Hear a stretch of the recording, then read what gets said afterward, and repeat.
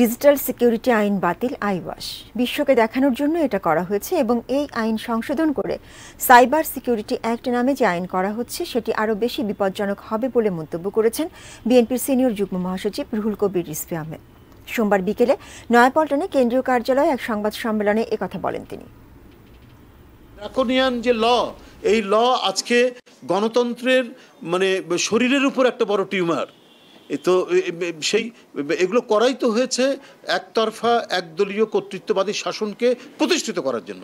আন্তর্জাতিক গণতন্ত্রকামী বিশ্বকে দেখানোর জন্য হয়তো একটা আইওয়াস বা একটা কসমেটিক তারা রূপ দিতে পারে। কিন্তু এর ভিতরে আপনার নিহিত থাকতে পারে বিপজ্জনক পরিস্থিতি। হ্যাঁ নতুন মোড়কে এটা হতে পারে। একটা বিপজ্জনক রূপের মধ্যে থাকতে পারে।